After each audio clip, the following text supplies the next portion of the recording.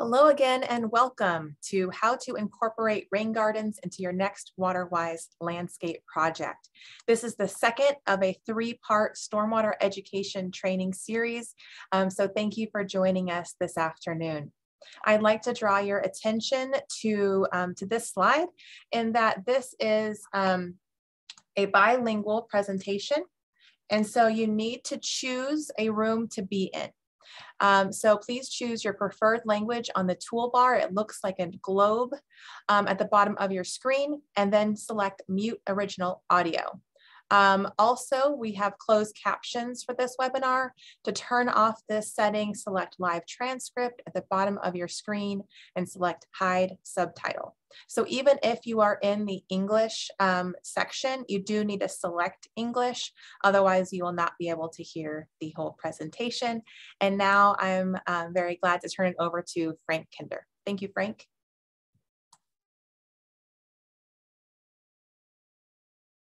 Hello, everybody. My name is here. I'm Water Efficiency Manager for Northern Water. We are that serves and uh, we We cannot hear him at all, Jessica. Okay, Frank, um, we're having a little bit of technical difficulties. Um, so maybe you could log back on. Okay, everyone. So while Frank is coming back on, um, when he rejoins us, um, we'll have him do his um, introduction once again. Let's see. Hold on just one second. Thank you for all for your patience with COVID. Hi, Frank. Hi there. I apologize. I'm having internet issues. Um, this is just a chance for us to partner with CSU to share this technical information. And in the Word format, we can do that.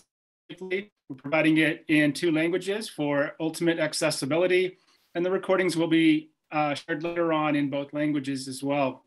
So uh, we would look to these types of solutions to encourage folks to incorporate landscape design and management that includes precipitation, and rain gardens are a great solution to do so. And uh, like this, other formats across the region for municipal allottees that we serve, as well as other entities, the private sector, public sector, and elsewhere. So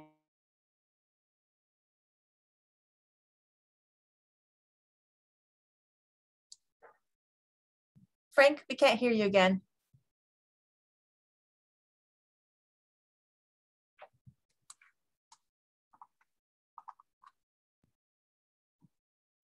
Apologies, everyone. Thank you again for your patience. So Northern Water um, is in Northern Colorado, and we um, provide uh, water to 33 different cities, 29 districts, and six industrial water users. Um, and this is a map that shows our uh, coverage and our system. I don't so within water efficiency, we have several different programs. We have uh, the conservation gardens, consultations and audits, fact sheets and tools, grants, partners and resources, planning and efficiency, training and events, and WaterWise landscapes. And then we also have a, a weather network that has 23 weather stations in our boundaries. Thank you. Um, Northern Water will be hosting uh, in-person ALCC Sustainable Landscape Management uh, training in November. So keep an eye out for it and register. We are discounting it to provide opportunity to support uh, the industry. So uh, get more information uh, at ALCC.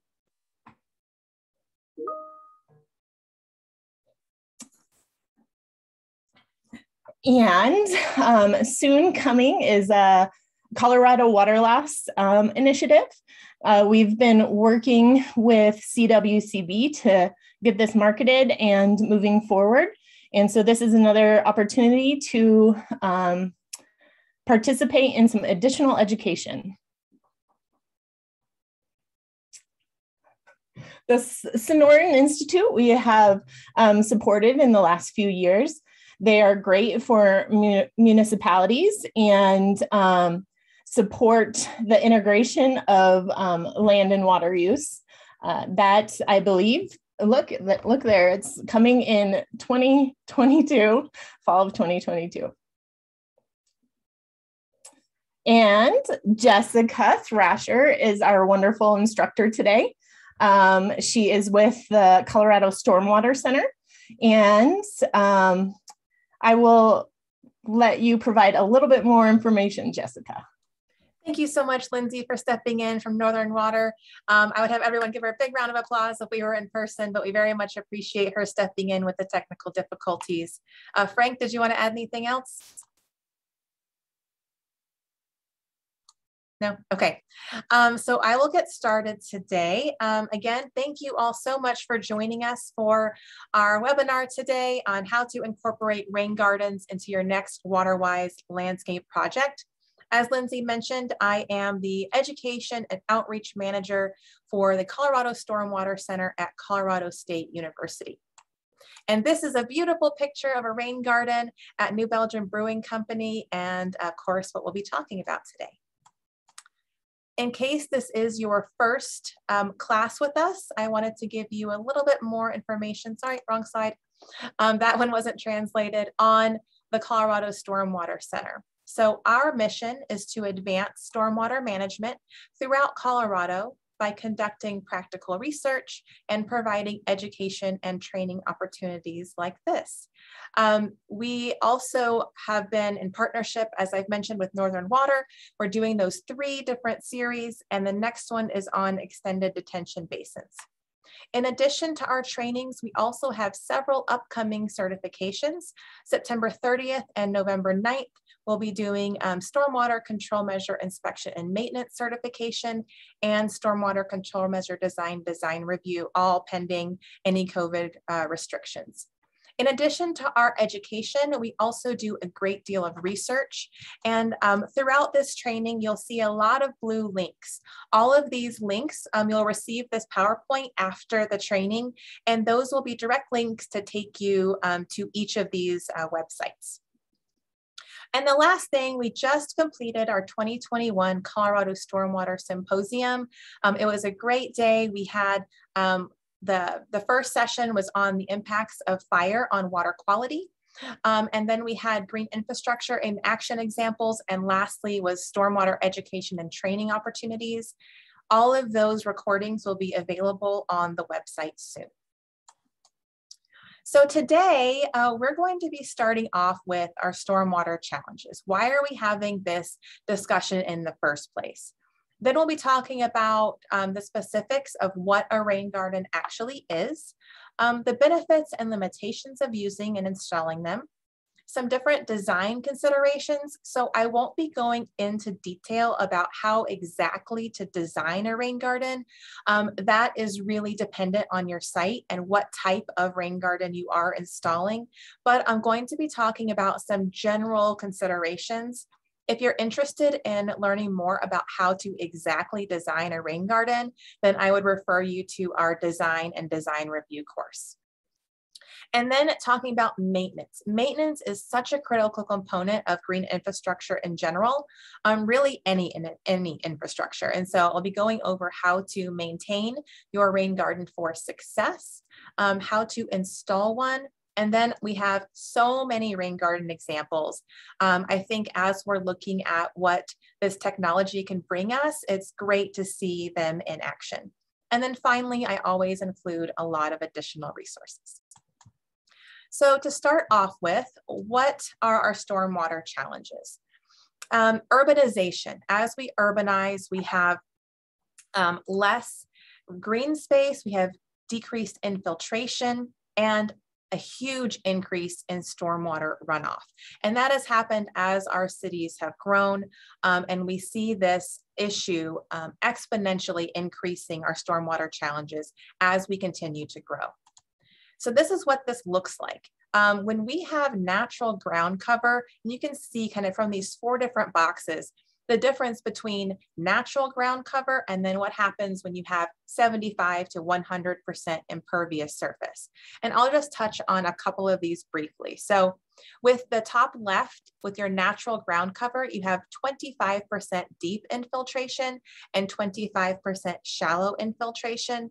But then as you get down to the bottom right box of 75% to 100% impervious surfaces, and this is what we're seeing, you know, of course, in large cities. Um, oh, and then sorry, one more thing about the top box is it's 10% runoff. So it's a very low runoff rate, and that runoff is also getting absorbed by that vegetation. But when we're down at the bottom box, you have 5% deep infiltration and 10% shallow infiltration with 55% runoff. And so what does that look like? Why does that matter? It matters because as the rent, as the runoff, you know, hits our impervious surfaces, goes from um, some roof lines down to sidewalks, down to roadways, it's picking up pet waste, fertilizers, motor oil, trash, debris, um, chemicals and detergents, and that's all putting it into our waterways. In addition, um, climate change is causing a lot of difficulties with our water.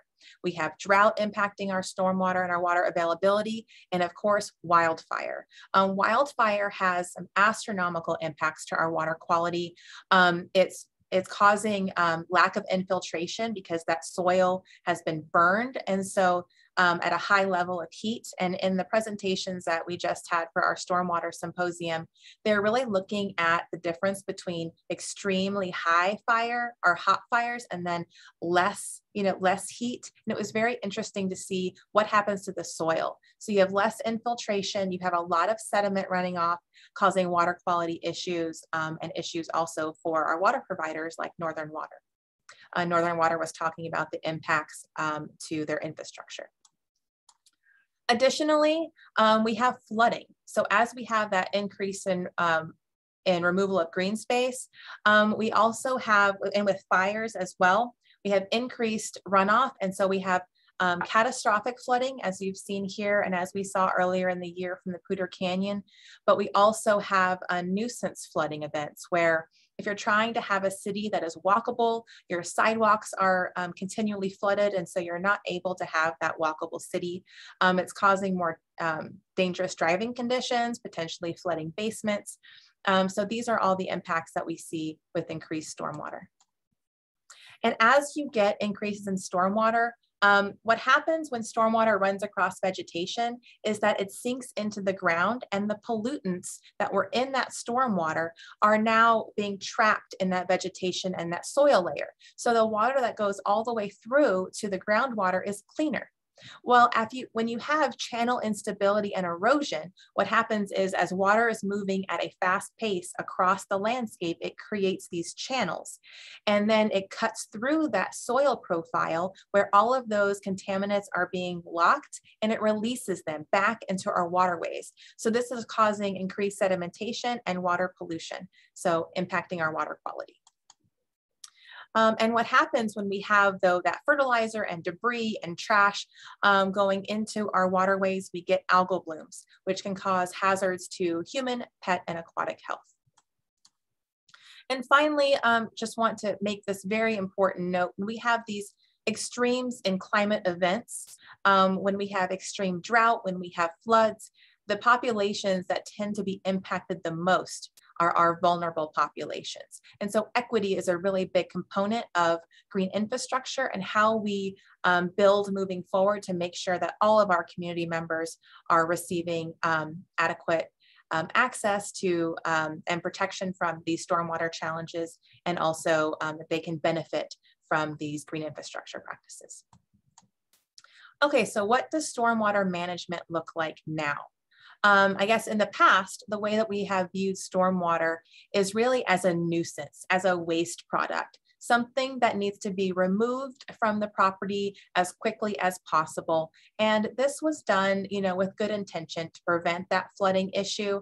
Um, but what that has caused is really as we as you have fast moving water moving across a landscape you get that debris and as you see from this picture you get that soil across sidewalks and things like that And what's that, what that's translated to as far as gray infrastructure goes is we have the rain hitting a roof, going into a downspout, hitting our sidewalk and parking lot, going into our uh, uh, curb and gutter system. And then um, I'm sure you've all seen these drains that say they go straight to the river. Um, and then they go into our rivers. So that is what gray infrastructure looks like.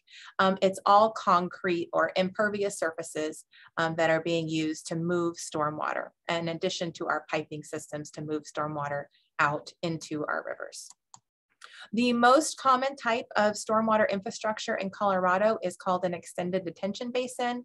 Um, and that uses the process of sedimentation where water is held for approximately 40 hours to allow pollutants to settle to the bottom of the basin.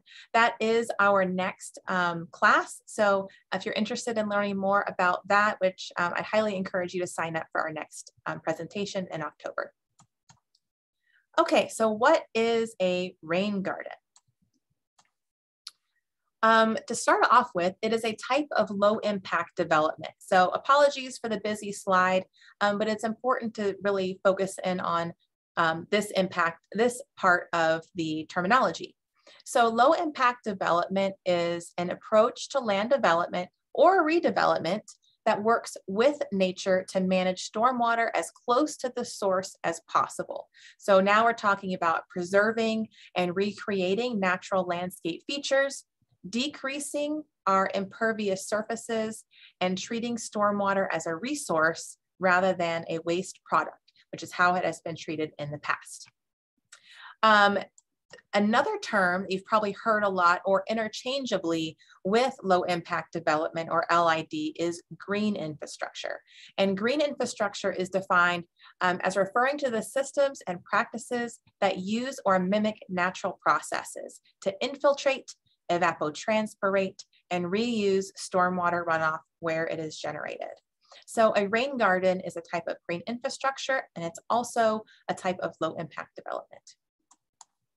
Green infrastructure really is looking at a multifaceted approach of having benefits to the environment, economic benefits, as well as improving the quality of life of our community because we're having more natural processes, more green space available to our communities.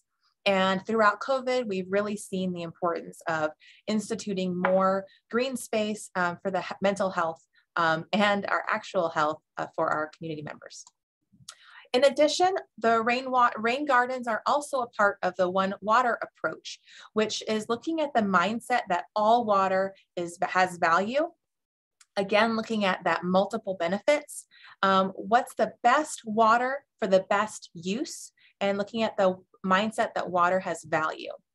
Um, the right size solutions for managing stormwater potentially, um, giving the same weight to having thriving cities, and social and economic inclusion, as well as healthy waterways. So I'm sure you've also heard the term One Water, so just connecting that, that rain gardens are also a component of the One Water approach. These are other types of green infrastructure and low impact development. We're not going to be talking about them today, um, but the recording from our green infrastructure um, stormwater series, that was the first one of the series um, in August, that will be available in the next few weeks on the Northern Water and Colorado Stormwater Center website. Um, I also like to talk about the difference between xeriscape and a rain garden um, because I think it's important to make sure that people understand that distinction. Xeriscape um, has low water or non-native plants or native plants.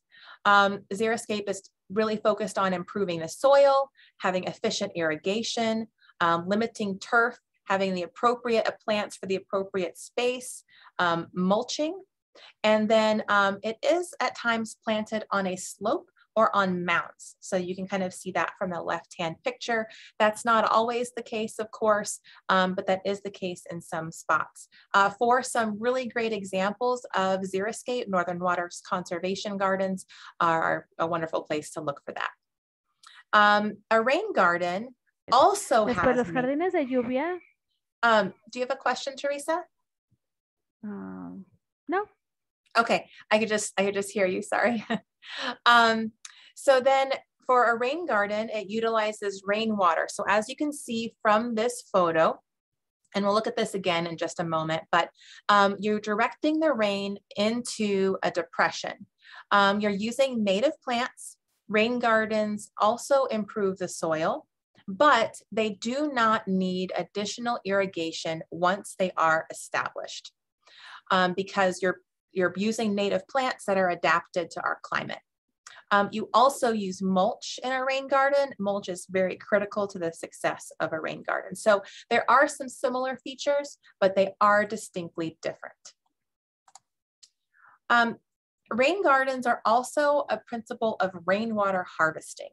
Um, and so some of these principles, just very quickly, these are by uh, Brad Lancaster in his book, Rainwater Harvesting for the Drylands and Beyond. He is an expert, has been doing a lot of work in rainwater harvesting in the um, Arizona area. So the principles of rainwater harvesting are start at the top of your watershed. It's really hard to make changes and move a lot of water once it's on the low side or the bottom of your watershed. We're trying to slow water down, spread it out, and sink it into the ground or infiltrate it. And then looking at the multiple paved or um, surfaces that are hardscapes, ways that you could harvest more of the rain or infiltrate more of that rain. It's working to protect water quality and then reduce the amount of stormwater runoff we have going into our streets. There are two main types of rainwater harvesting. One are active systems, which collect and store water for future use. An example of this would be rain barrels. Um, this cannot be used in the commercial setting um, without specific, um, like Denver Water has done this, but um, that's part of a um, demonstration area. So you have to get special permissions to do that. But on a residential scale, you can have, you can collect rainwater. Um, and then the other type, which we'll be talking about today, is passive systems, um, which is a rain garden, but this uses gravity to direct and slow that flow of water. This allows for greater infiltration and passive systems can collect a substantially greater amount of water than um, passive, than active systems rather. Um, so a rain garden, I'll be moving back and forth today between a commercial um, setting and what's being used uh, when you're using rain gardens for um, a stormwater control measure and kind of that um, HOA to landscaper to residential homes. There are different um, best practices and regulations for kind of each one. And so um, if that gets confusing, you can always put a question in the chat or just unmute to ask me your question. But since we have a variety of um, participants today from different areas, I wanted to be sure to touch on the different aspects so that um, all of you could really take something away from today's um, lecture. So um, rain gardens are um, a depression and that's being used to slow and capture and infiltrate the stormwater runoff. Another term that you might be hearing is bioretention, and that is the type of treatment process, uh, while rains gardens are the best management practice. Here is another view of that rain garden where the water is directed into this depression. The depression is called a basin, um, and it's basically a hole, a depression. So water is directed into this basin. This is not a pond. Um, rain gardens are legal in Colorado. You're just slowing the water down. You're not stopping it because it's infiltrating into the soil. Um, so you have your basin and then you have your berm on the, on the downhill side, which is a buildup of soil. And it's really just to hold that water um, so that it can infiltrate into the soil. Then we have native plants um, because again, they are adapted to our climate. They're adapted to those periods of drought and of, um, of a lot of rain. And then mulch. Mulch acts as this super absorbent layer. It helps to um, insulate the soil and prevent the plants from getting too dried out. And it also helps um, prevent some weeds. So now you may be thinking, okay, well, why are we talking about rain gardens in Colorado? It doesn't rain that much here. But actually, um, in the Fort Collins area, we typically get about 16 inches of rain per year. which doesn't sound like a lot of rain, but a one inch rain on a 1,000 square foot roof, which is really a section of roof, even on residential properties, will yield 600 gallons of water or 9,600 gallons of water per year. So we have plenty of rain to make very effective rain gardens here. Uh, rain gardens are being utilized extremely successfully in Arizona, where they get a much less rain than we do, um, somewhere around the 11 inches per year. Now there are, we're getting a little bit technical here, so bear with me. Um, just wanted to show you the different types of infiltration um, that we're talking about with a stormwater control measure. So um, a rain garden is exactly what we're still talking about here. This is looking at how that process works. How does it clean the water? Um, so the first type of filtration is no infiltration. So you can have rain gardens, and this is if your MS4 permit is requiring you to treat your water quality. Um, and so the no infiltration design is if it's next to a building potentially, but this is the different components of it. What happens with the rain garden is the rain enters the depression and then it's forced to, the water is then forced downward um, through a filtration media. Again, this is if it's the MS4 treated. Um, then it goes down, in this case, into an under drain, and then that cleaned water goes into our storm drain. And you can see that evapotranspiration is also a part of that process.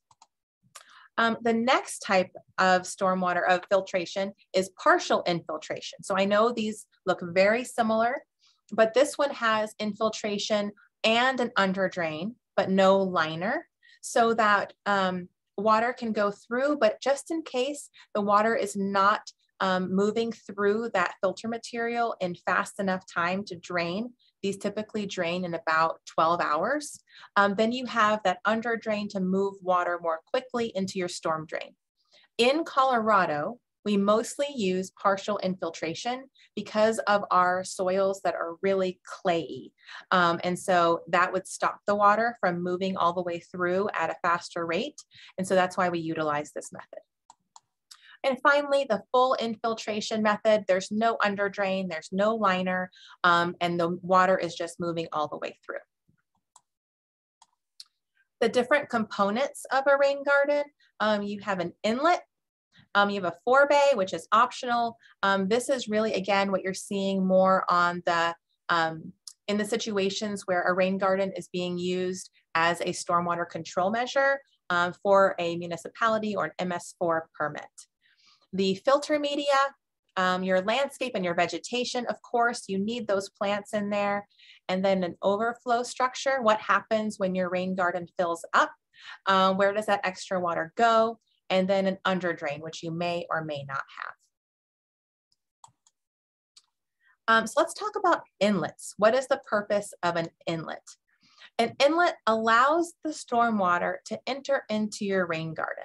It's also looking to dissipate energy. So as you have a lot of water coming in, you want to be sure that you have that energy dissipation so they're not getting erosion happening.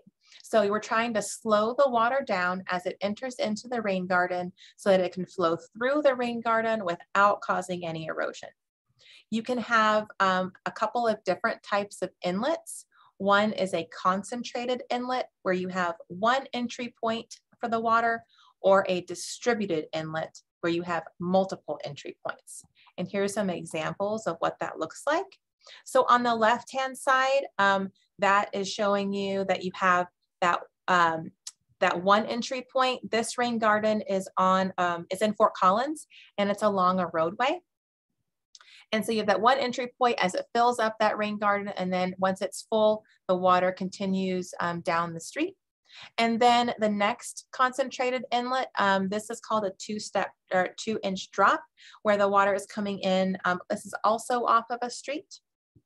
And then um, next you have a distributed inlet. Um, and so you can see this, how this curb has multiple cuts in it. And so the water is really coming in at multiple points. And this is helping the water um, to really flow in more evenly through these larger rain gardens. And finally, this distributed inlet, um, I'll show you another picture of this later, but this is a place in Denver where the water is coming in and then um, flowing across that rain garden. Um, it's really mimicking the natural process of a water coming in, you know, through different points into a depression. So either one, you might see either one as you look at rain gardens in your area. Okay, now a forebay, you know, this really depends. Again, you may or may not have it. Here is a closer look at that um, distributed inlet that we were looking at before. This is in Denver. Um, and what they did here was pretty unique. A really great idea. So they utilized this parking um, as their forebay. So a forebay is really designed to um, to stop trash, large debris, large trash um, from going into your rain garden. So what they've done is they've created this parking space and the holes are smaller so that the water will slow down a little bit and then progress through these holes. And then the bigger, like the leaves and the trash and debris will stay in this kind of parking lot forebay area. They also have monthly street sweeping. So part of their um, maintenance process is just what they normally do to maintain their streets. Um, so this was really a no cost maintenance um, opportunity for those folks in Denver to maintain their rain garden very easily. Um, another example of a forebay here on the left is, is from the city of Fort Collins. Um, and this look definitely looks different than the one I just showed you on the right here in Denver. And what, what happened here is there was a study done with the Colorado Stormwater Center and with the city of Fort Collins to see about how much better the water quality would be if pea gravel was put into this forebay um, of this rain garden. And so what they determined from all this testing is that pea gravel actually did um, help the water quality. The water was cleaner coming out of that rain garden. But as you can see on the far right, it was just too hard to maintain. In order to maintain it, you had to use a vacuum truck and suck out all the pea gravel um, and then replace it more frequently than you would want. So there was a big expense there. So again, uh, you might see a forebay. And so as you're going around looking um, at rain gardens after this class and you see some, now you know what that component is. And if you're looking to install them, um, this might be a component you might need to consider. Next is filter media. Um, the filter media removes the pollutants before the runoff infiltrates into the groundwater or goes into the underdrain. Um, the filter media will eventually clog because the whole point of the filter media is to collect those pollutants. And so you want it to be removing them and therefore becoming kind of clogged. And so it won't let water to pass through it eventually um, if it's not maintained properly. And so we'll be talking about how to maintain that. But those, as from this picture, you can see those pollutants are starting to accumulate. And just so you know, that means it's working. Here is kind of what filter media should look like and shouldn't look like. Um, from the picture on the left, this is of course what it should not look like. Um, we'll be talking about ways that uh, rain gardens are installed improperly, which is happen what happened here.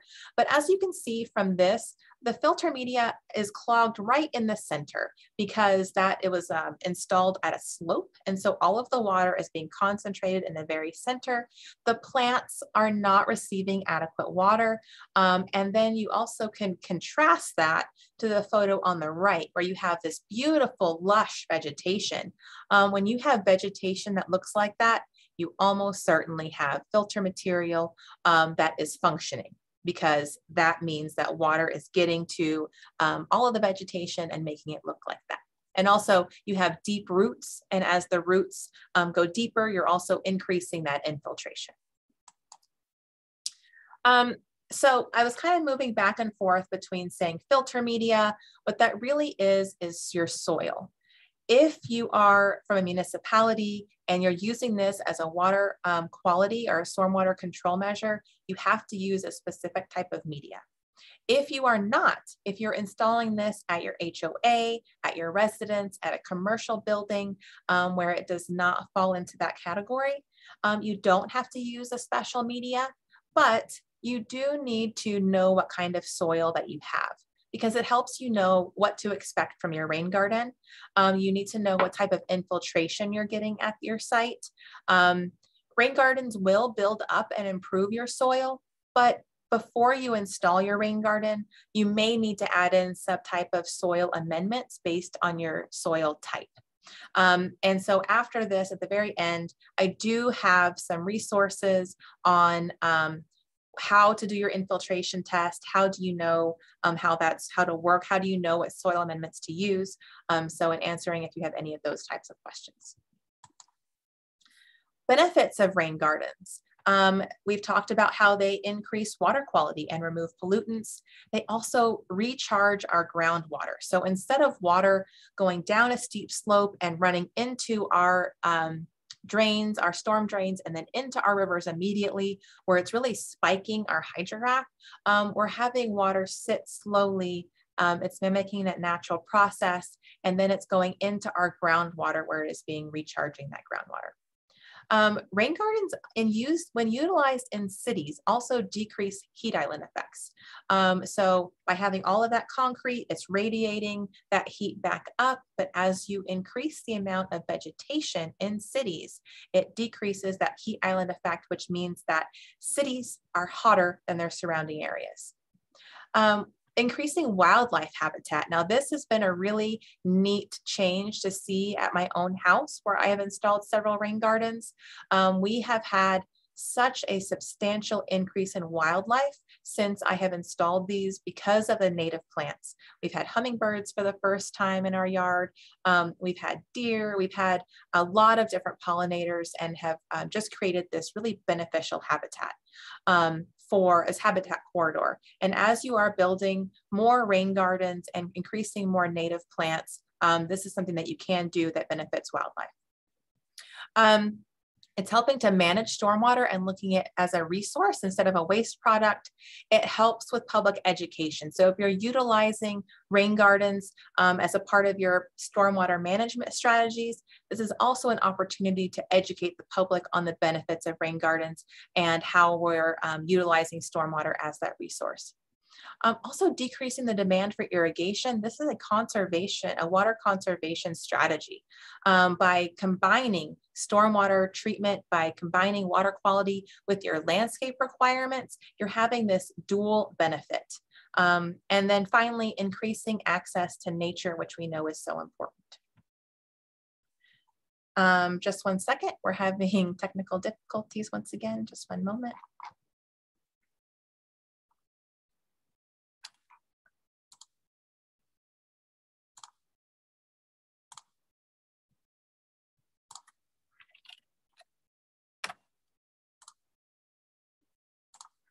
Okay.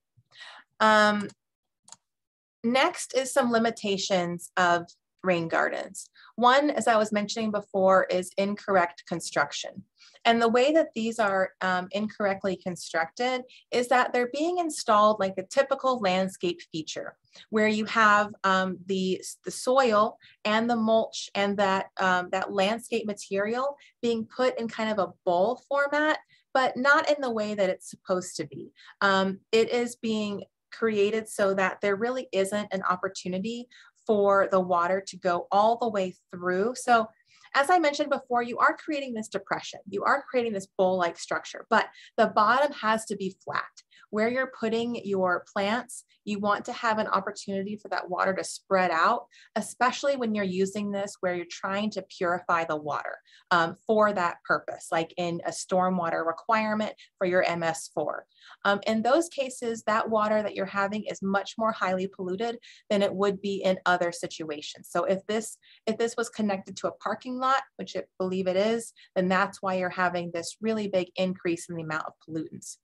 So what you want to see from these types of, um, of rain gardens is really a flat bottom so that that water can spread out evenly across, across that filter material and then um, go through it um, so that those pollutants can be more distributed and also water those plants that you have planted evenly. Um, you can have this sediment buildup as you can see here, and then this hasn't been properly installed or maintained. So in this case, that sediment area needs to be raked out um, and so, so that it can properly infiltrate because this has gotten to a point where no water can um, enter it at all. And then at the bottom here, where you see that bottom arrow at the bottom of this picture, water can't even really get in here anymore because um, the landscape material plus all of the pollutants and debris have started to block that entry point where water enters into this rain garden. Um, considerations, you will need to establish your vegetation. Um, so that means you will need to water them, um, but you don't want to install permanent um, irrigation in rain gardens. Um, but until they are um, established, what takes two to three years, you will need to water them. So this would be an instance of temporary irrigation. Uh, once again, you might need an under drain depending on your site. And this, and you might have to add or remove plants.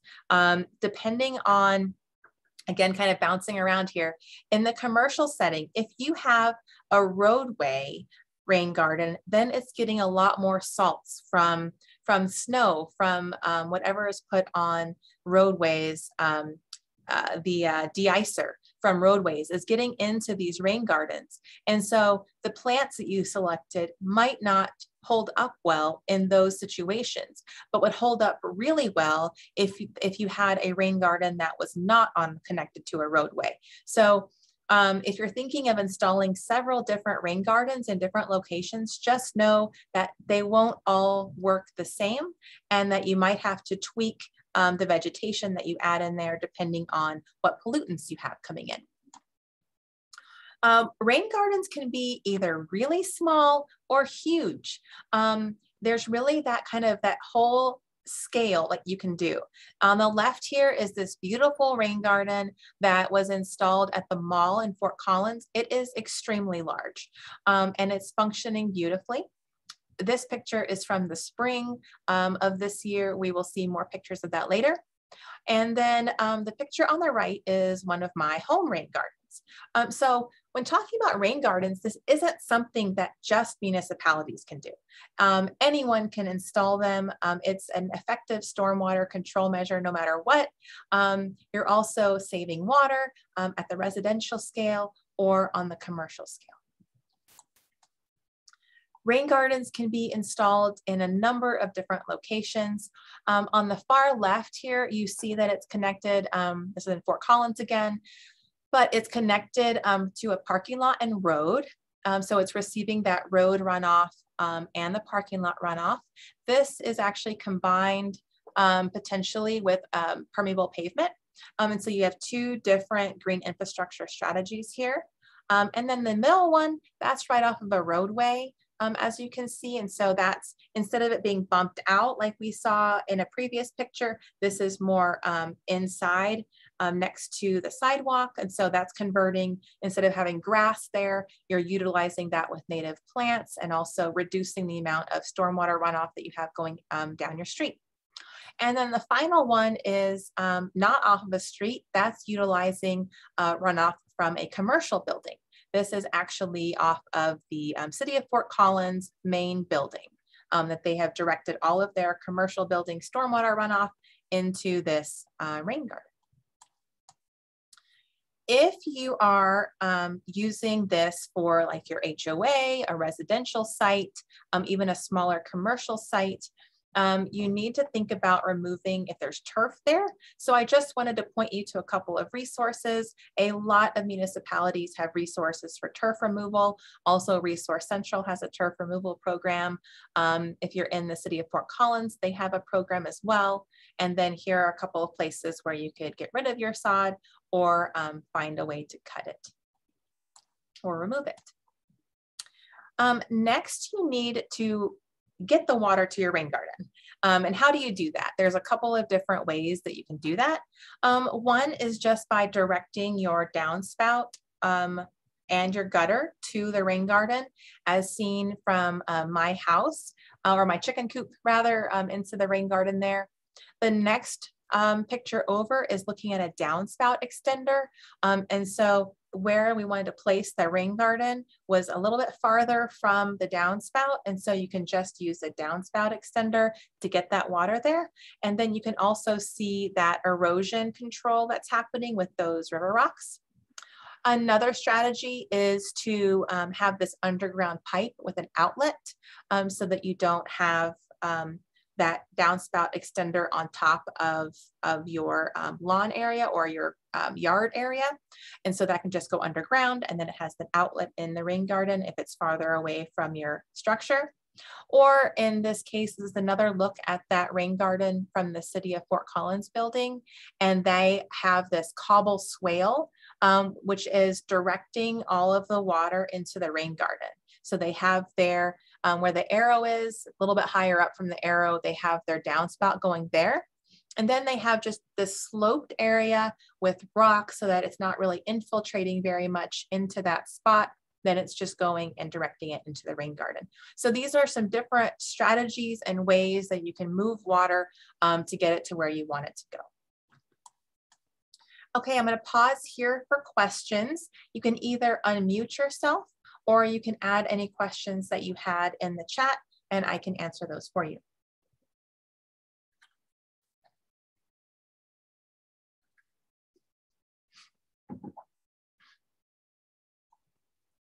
and I can also answer any questions that you have. Um, if you think of something after our question breaks, we do have several question breaks built in, but I'm always happy to stop and answer questions um, as they come in. So if you think of something, you can go ahead and put it in the chat and I will address it. Okay, here are a couple of design um, considerations. One, I know this won't um, be relevant to everyone depending on um, you know, what type of rain gardens you were installing, but it's such an important point. I wanted to put it in here to remind everyone. So please locate your utility lines before you do any digging. If you are a homeowner, there is a free service. Um, they do locate to the meter. Um, or you might need to hire another company to locate some utilities um, in other areas that are past your meter. Um, but Obviously, if you're doing a large rain garden, this would be a part of your process, but just really wanted to highlight the importance of knowing where your utility lines are. When you're looking to select where your location of your rain garden should go, there are some different considerations. Um, one is you can walk around your building or your home and locate all of your downspouts. Um, if it's a commercial building, then you can also use runoff from parking lots or driveways or roads or other impervious surfaces um, and look at your potential rain garden sites. When you're looking to determine your site, um, ask yourself, if I select this spot, will the water drain away from my structure? Is there a slope? Um, can I dig here? Are there utilities here? Are there irrigation systems here? Is there a septic system? I know that's not relevant in all cases, um, or a leach field. Are there other obstacles to digging there? Um, is it too close to structures? Um, they're supposed to, rain gardens are supposed to be 10 feet away from buildings. If this is a commercial setting, you could utilize a no infiltration rain garden with an under drain. If you want to put, put a rain garden closer to a building, that is one way um, that you could do it. Um, and that's something to um, speak to about the engineer or the designer that you're working with if that is the case. Another consideration is um, how much rain will drain here. What is the catchment area of the site that you have selected? And how could I reduce the irrigation that I'm doing to this location if I were to install a rain garden? Also think about is um, observation is such a critical component of this process. Do you have water ponding in a certain area? Do you have um, some, some water that you just, you don't want it to pond there and it's a continual issue?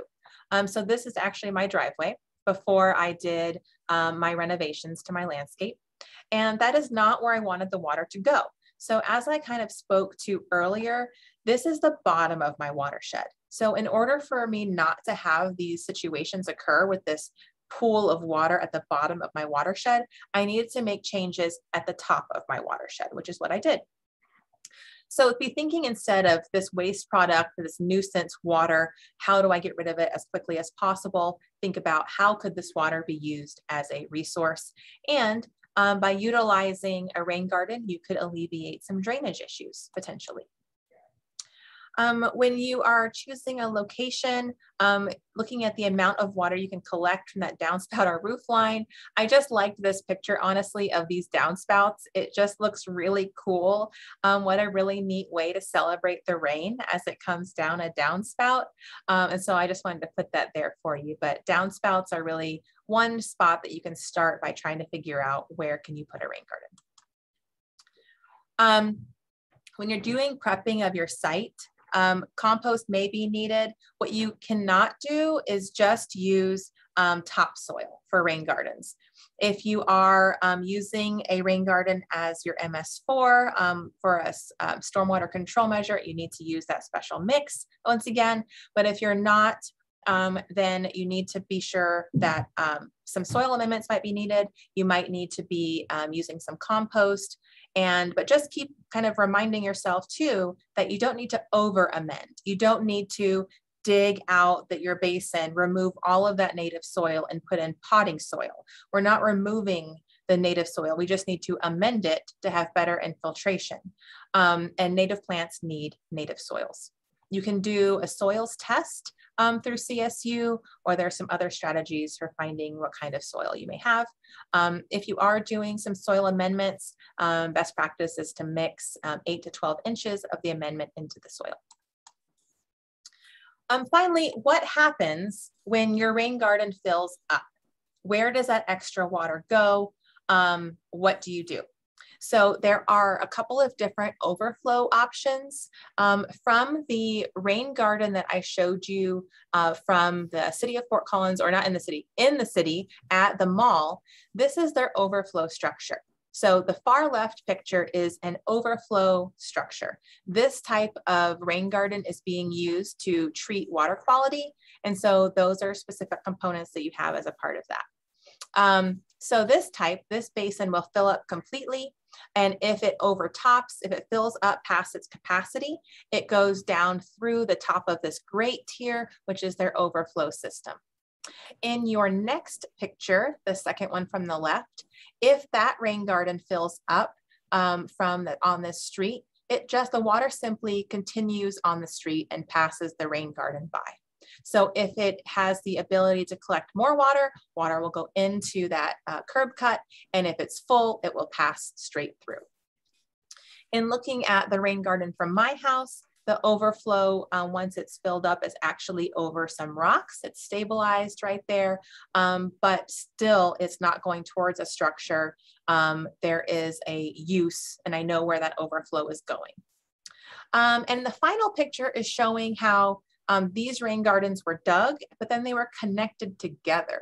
So the overflow from one rain garden was then directed into a different rain garden. So there's multiple ways that you could do your overflow uh, for a rain garden.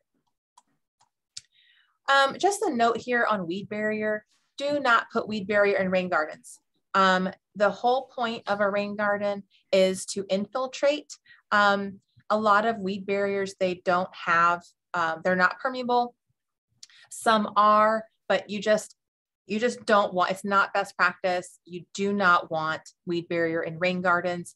Weed barriers are preventing um, the soil from amending from um, improving and then they also have um, weeds. As you can see weed barriers don't prevent weeds. Um, the soil will just blow on top of it then weed seeds will blow on top of it and then you get weeds anyway, um, these pictures are really just showing how um, I did a, pro a, small project at my house where I had a lot of weed barrier um, that was installed on our property. Um, and it was also sloped away from the trees. So if you can look at the second picture here, the water was coming from that top arrow down and then over this, um, this tree line where it had been elevated. So no water at any point is sitting and collecting and infiltrating around our trees, which was causing them to be sick. Um, also having weed barrier right up against a tree was also um, harming the root systems and making an unhealthy tree. So I dug out a small basin, I created a berm um, to create um, more you know, air around the, around the tree and allow water to actually infiltrate when we had those larger rain events. Um, in Colorado, we tend to have usually um, really hard rains for a shorter period of time. And so if you're on a sloped area, by having these basins or opportunities to slow that water down and infiltrate it, that means we'll actually get water to, to stay around where we want it to stay instead of just running off really quickly down that sloped area. In addition, we tend to have clay soils, so that's also kind of reducing the ability of our soils to, to infiltrate when we get the type of rains that we usually do. Um, and then finally, if you're concerned by looking at these pictures that, well, I don't really want just huge holes in my landscape, the final picture, you can see what it looks like with mulch, and it doesn't even look like there's anything there. Um, next to buildings, this is an example of how you can have it closer to a building by utilizing that liner and under drain. And it looks like it's a really great addition to the landscape feature there. Um, when you are looking at creating a rain garden with um, your aesthetic design, really try to create a feature and not just a facility. You know, how can you have this rain garden match the design characteristics from the surrounding area, utilizing any shapes that are natural shapes um, that complement or um, fix any kind of design issues that are surrounding it. Um, and then make it really um, similar type of texture um, to the surrounding area so that it doesn't, um, it really adds to your area rather than um, distracting or detracting from it.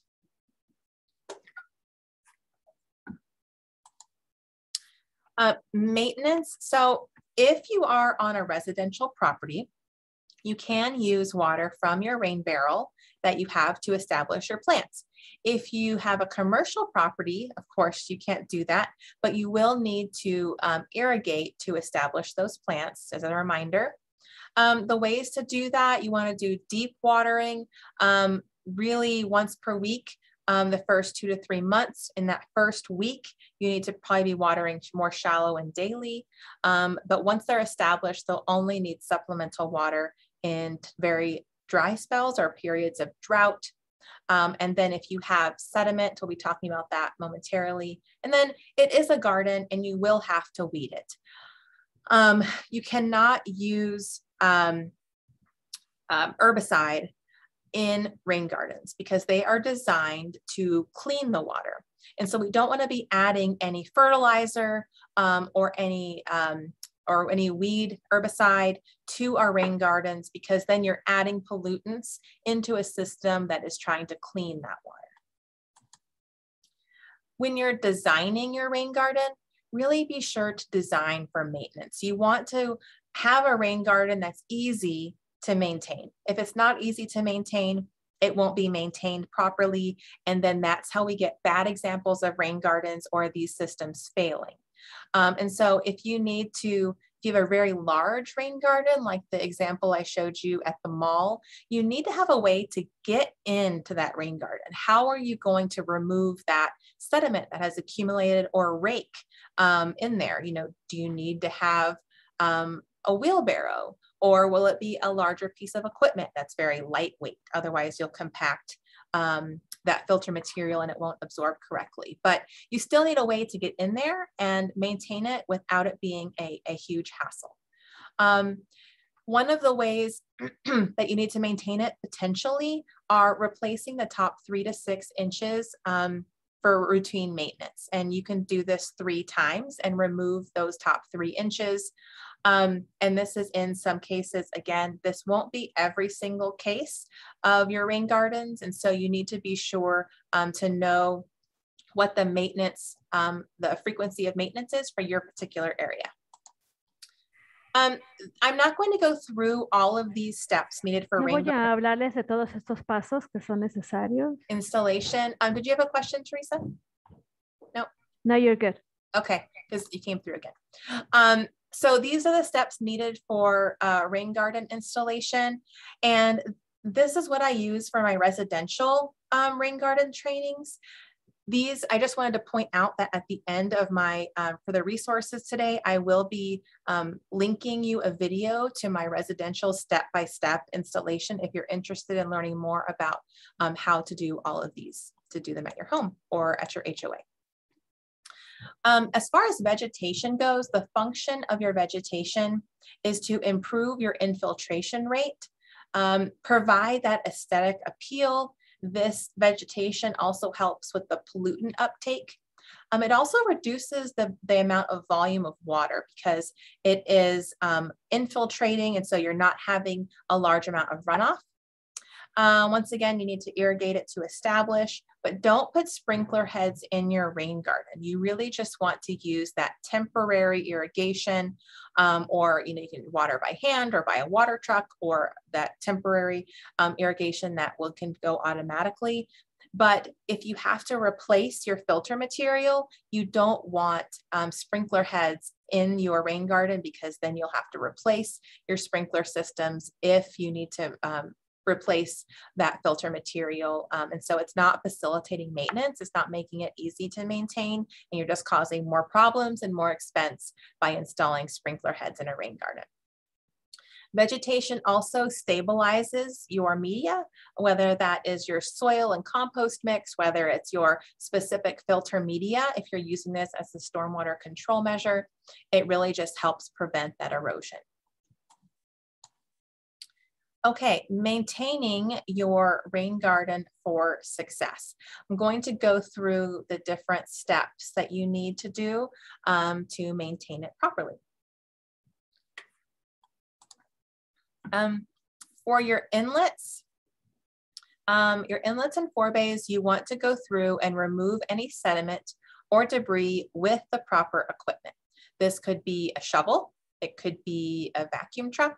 It could be um, a street sweeper, not just a street. I left off street sweeper. Um, and so again, just when you're thinking of designing these, think about how they will be maintained and how easy it will be to go in there with your proper equipment. When you're going and inspecting your filter media, um, check for standing water or any sediment accumulation.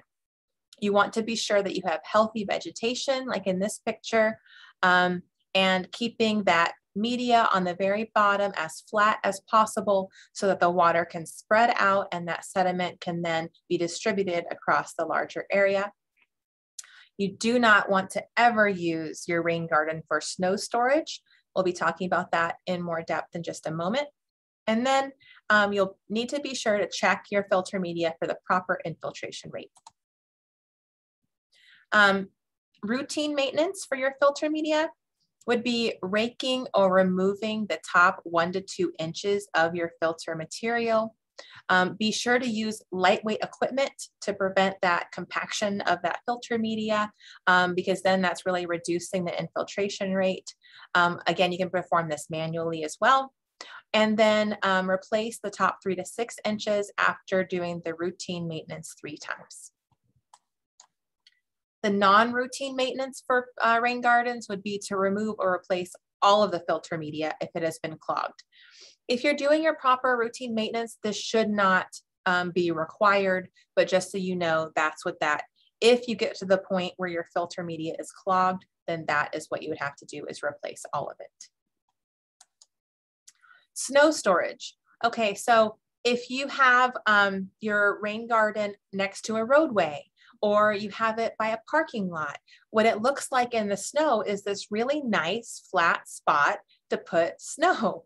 Um, and so this is a part of where signage is really critical, where you need to talk to your um, snowplow drivers and educate them on not putting snow there. What happens is the snow is extremely dirty, as you can see here, um, and full of pollutants. And then you are placing it, if you place it directly on a rain garden, first of all, it's going to hyper pollute the area that it's been in, it's um, being placed in. And so it's going to clog up your filter material. It's also heavy. And so it's going to be doing a lot of harm to your vegetation. Um, and it potentially has de-icer or salts in it, which is also going to potentially kill the vegetation that you've worked really hard to establish or, um, or just really harm you know, you might have to do some replacement of vegetation um, after the season. So the best way to prevent having snow placed on your rain garden, if you have to place it close to it, then place it outside the inlet so that it can melt and then that can be filtered appropriately through the filter material. Um, and then place that signage so that it's not being put directly on top of your rain garden. Um, we've talked about this um, a couple of times, but that media or mix um, depends. It really depends on your site, kind of what you need for success of your rain garden. Um, don't use only topsoil.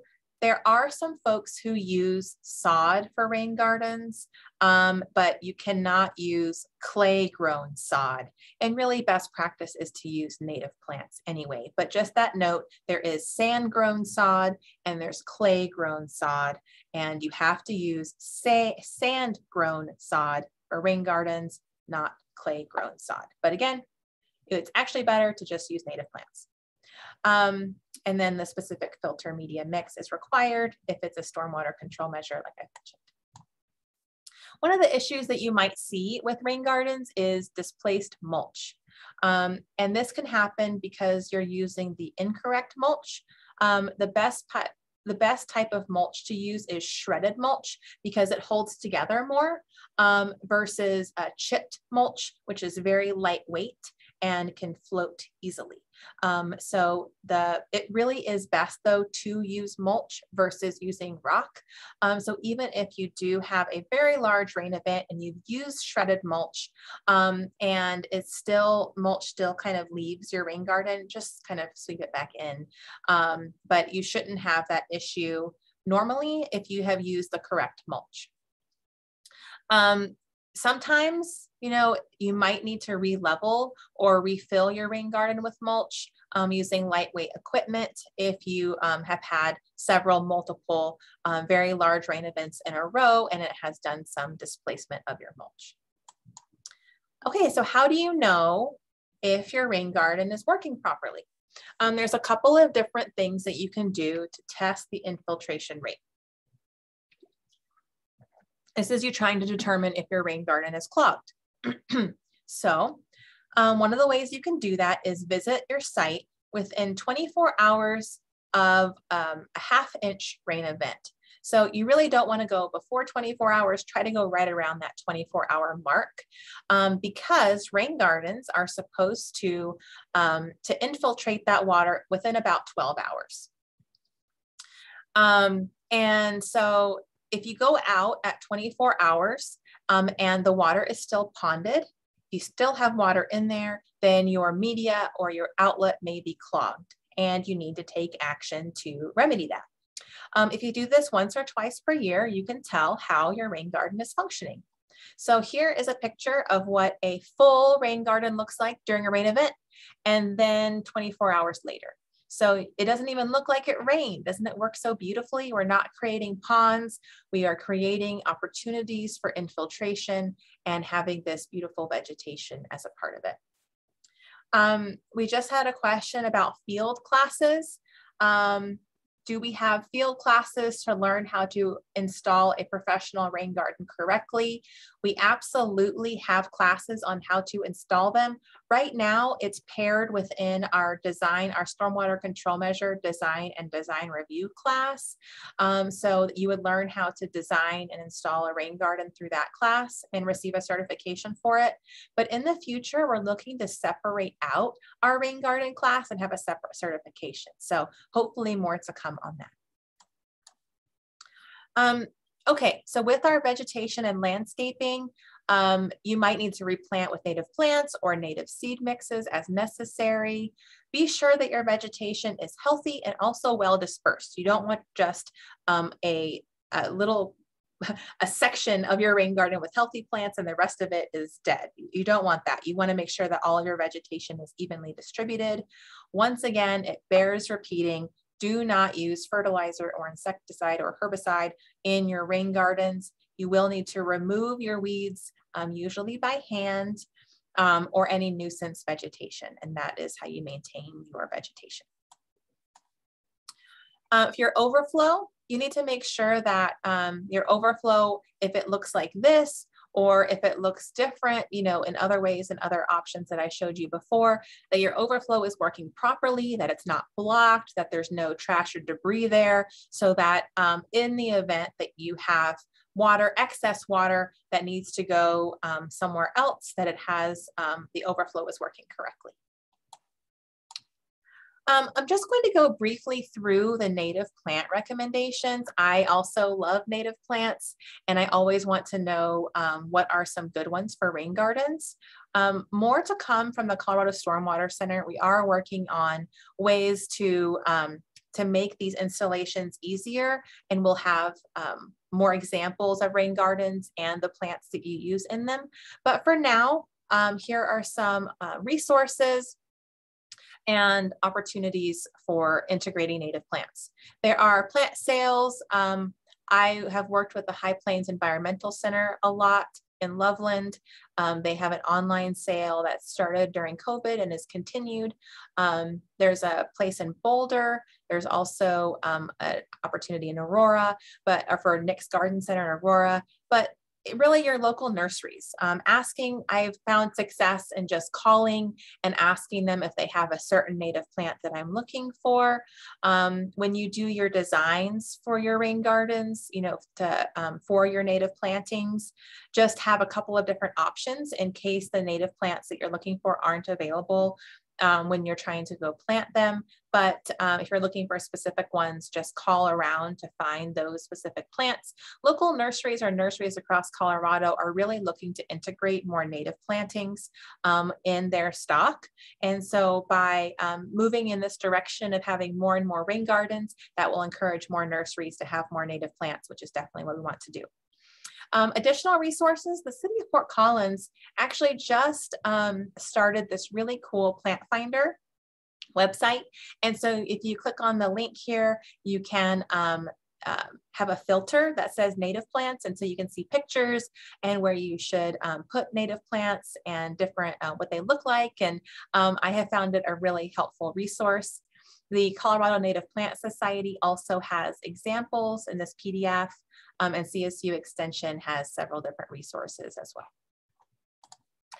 We have worked with Dr. Jennifer Bousselot um, with CSU Horticulture and Landscape Design for this list.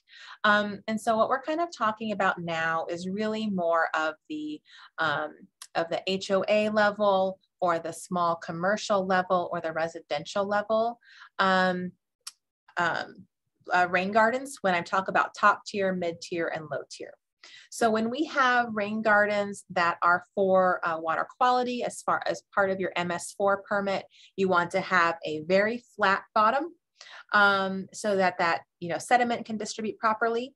But if you are having a rain garden a part of like a smaller scale, it's not a part of your MS4 permit, then having it more like a bowl shape. Um, and this is what we're talking about here with top tier, which is needs the least amount of water, mid tier, which is that middle level, and then the bottom tier um, plants, which is the very bottom of your rain garden, which would be largely grasses and, um, and plants that can handle either an inundation of water or no water. Um, and so these are some of the plant suggestions um, that I have really liked. Um, some of my favorite are the hyssop plants. The hummingbirds love these. Um, chocolate flower was also pictured on the very front. Um, and so these are a list of some of my favorites. Um, the grasses here, I really love little blue stem. You can use it on the top tier, the mid tier, or the bottom. I actually really like using little blue stem as um, my bottom grass. Here are some shrubs for you. Again, you'll receive all of these slides, so you don't need to write everything down. I just wanted to have them in a spot so all of you could see them middle tier perennials. Um, I definitely recommend perennials versus annuals so that you can you don't have to keep replanting your rain garden year after year. Um, bottom shrubs, and then I go through your perennials and your grasses. Um, so anyway, um, these are all available to you. If you have questions afterwards about specific types of plants, um, you can email me or contact me at any point about those. Okay, so since rain gardens are so great, why aren't they installed all the time? Like what is stopping us from seeing them everywhere? So there was a um, survey conducted by Wright Water engineers um, who was looking at largely green infrastructure in general, but it definitely applies to rain gardens. Um, and so one of the concerns was, or one of the barriers that was discussed was lack of successful projects. Um, the inability to see rain gardens in action, you know, um, reluctance to really try something new, we, we know what it takes to install an extended detention basin. We know how the costs of those, we don't really know what the costs are to do rain gardens. Um, how much is it to design it and operate it and maintain it and the whole life cycle? Those were pretty uncertain. Um, uncertainty around maintenance, you know, having to take um, new training or learn new techniques on how to maintain these. Um, the codes in municipalities are really for low impact development are really recommended rather than required. Um, and even if you do install a rain garden, you might need to install some other kind of stormwater infrastructure in addition. So these were the concerns that were raised um, during the survey done by Wright Water engineers. So what do we do? What are some potential solutions? Um, here are a lot of different resources for you on, um, on overcoming some barriers. There's um, the triple bottom line, cost benefit analysis. Uh, the Mile High Flood District has been working really hard um, on their chapter four of their urban storm drainage criteria manual. This, the chapter four should be coming out in um, 2022, but the chapter three is available on their website right now. But it has um, really great recommendations for best practices on how to install rain gardens and other types of um, green infrastructure as well. The EPA also has a lot of different resources on um, addressing these concerns and overcoming green infrastructure barriers. What we can also do is integrate into our codes and ordinances um, more opportunities for green infrastructure instead of having it be um, recommended, having it be required, you know, what does it take? How can we encourage more um, people to install green infrastructure or at the very least, um, consider it and um, determine if what the best solution is for that um, particular area instead of um, just going with what we know and the usual stormwater control measures. Um, as far as the concern of maintenance and needing new trainings, uh, the Colorado Stormwater Center has several trainings to address this concern. Um, one of them is the inspection and maintenance class, as I mentioned early on, um, how to take care of green infrastructure and also how to design it. And if you are in a municipality and reviewing designs, it's also looking at what do you look for? How do you know if um, if this rain garden has been designed correctly? How um, how can you make recommendations on where um, on additions that could be added to facilitate maintenance? So those classes are there for that. Um, and then the final concern of other types of um, stormwater control measures or drainage infrastructure may still be required, even if you um, use rain gardens or other low impact development. Um, you know, this, these measures can be done um, in connection with each other. It doesn't have to be all one or all the other, um, but by looking at different opportunities to integrate them into our um, land development and finding ways to have more opportunities for rain gardens in our landscapes, um, we're reducing the need to have more um, gray stormwater infrastructure. So let's look at some opportunities. So here you see on the left, a below ground planter as it's listed here, which is a rain garden, um, or an above ground planter. So if you're looking at ways to increase uh, vegetation in your landscape to reduce the amount of heat island effect that you're having. Um, you know, what an opportunity um, to instead of putting this above ground planter that you will have to irrigate um, continually, not just uh, for two years, that will always need irrigation. The water, those raised um, planters also dry out quicker, so you also need more water on those. Um, and so just looking at how can even reducing costs from this standpoint look at how much concrete was used in on the right versus the left so just really taking into account the cost benefit analysis and looking for ways where we can have more rain gardens installed um, and increase the beauty of our landscapes versus these above ground planters.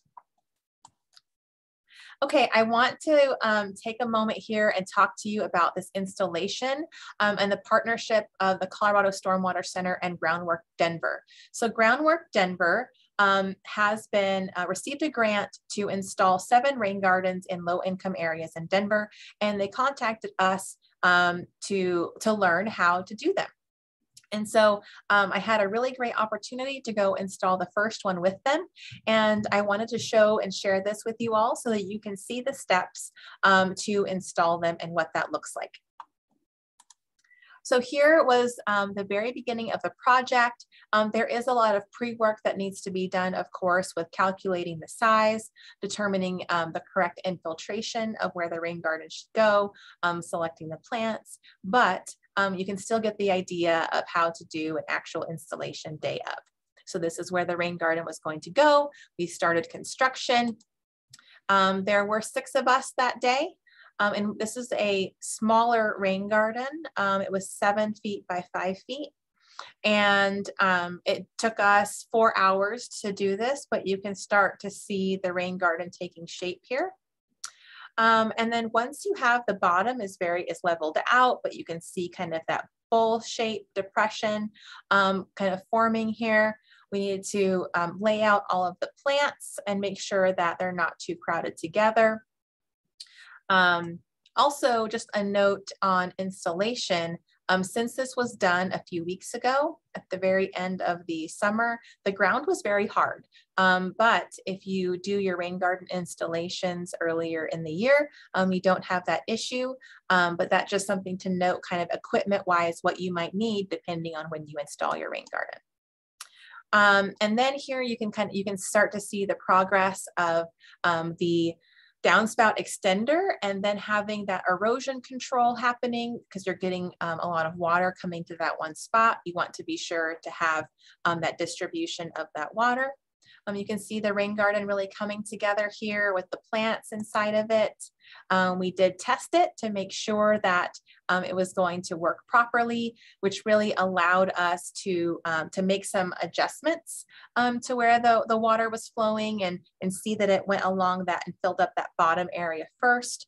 Um, and this was just a really great um, opportunity to, to partner on this project. Um, and then also the last one is mulch. We took the pictures before the mulch because um, the mulch really is this super absorbent sponge and it's hard to see water moving through mulch. So it's very easy, it's a lot easier to show kind of the movement of that water before the mulch is put on there. But um, mulch is just a very critical component um, of the success of a rain garden. Now here in this picture of this mulch, this is shredded or this is chipped mulch versus shredded mulch. Um, and so I would recommend using um, shredded mulch instead. But for this particular project where cost is, um, is a concern, using um, chipped mulch will work as well. And um, what we talked about during this project was if you see that you're having a lot of issues with your mulch moving, then you can um, change to shredded mulch. Okay, I'd like to pause here um, for another moment before we go into some great rain garden examples. Again, you can unmute if you would like and ask your question, or you can put it in the chat.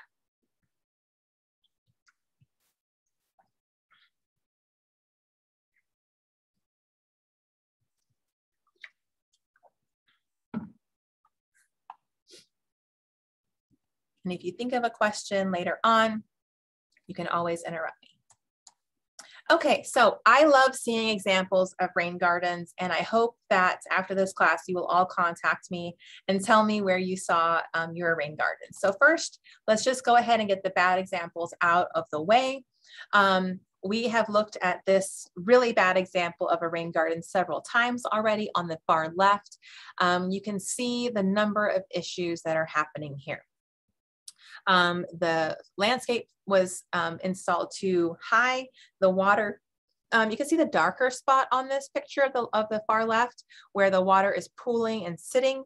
It's very hard for the water to, um, it doesn't even move all the way through the rain garden. It looks like it's just being stopped because of all of the pollutants in there. So this um, was not maintained correctly. First of all, it wasn't installed correctly. It's not being maintained correctly. It's becoming an eyesore. Um, and this is really giving rain gardens a bad name because it um, is not functioning and it's not, doesn't look nice either. The next one, this in the middle picture is actually a rain garden, if you would believe it or not. Um, so what happened in this situation, I'm gonna try to use a pen here, laser pointer. Okay, so this is the inlet. This is where water comes into the rain garden. But what do we have right here? This is a storm drain. So the water comes into the rain garden and goes immediately down the storm drain. That's why all of these plants are dead is because there's really no water going into them. Um, we do see some possible sediment coming in here. So there might be another inlet um, or out or inlet where water is coming in other ways, but this is not an effective rain garden. This was not um, a rain garden set up for success. The final picture, so this is an example of a forebay um, and an inlet combined. So this, um, let me get my laser pointer once again. so this right here is where the water comes in. This is the forebay that I was telling you about to slow the water down and try to remove the trash and debris um, from entering into the rain garden. But what has happened here is that the entry, the, the holes to go into the rain garden are too small. And so the trash and debris is accumulating here and then it fills up quickly and then the water just overtops this entry point into this rain garden. And you can see it's highly polluted right here. We have erosion happening right here. So this was not a good, um, a good rain garden design um, for success. But this particular, just another note kind of on this forebay, this looks about the size of a shovel. And so that would be a way to maintain it. It is easy to access. So from those standpoints, um, that was a good idea but you also have to look at the overall success of the feature as a whole. And so it has not added to the rain garden, it has really detracted. Okay, so now that we have the bad examples out of the way, let's look at some really cool examples. Um, we've looked at this already, but this is again looking at um, a rain garden in Fort Collins that's um, in the on the side of the street um, next to the sidewalk where it's capturing that uh, roadway runoff. Um, and it's this really beautiful feature um, on this street. It's also slowing down the cars on this street because you're narrowing the street itself. So it's this form of, of controlling speed too. Then this is another picture after a rain event, the same rain garden, um, but it just shows you why maintaining it is important. So during a rain event, um, a lot of debris washed into this rain garden and has clogged the inlet. Um, and so by clogging the inlet, inlet, water cannot get into your rain garden.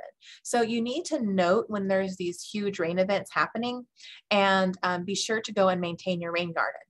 One way that would have made this rain garden easier to maintain and you wouldn't have to go out after every single rain event is to, in, is to um, install it with a two inch vertical drop.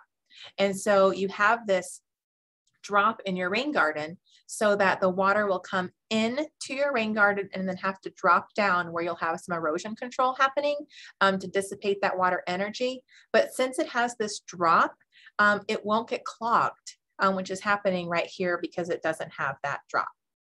Um, so just kind of a note for design, even though the rest of it does look very nice.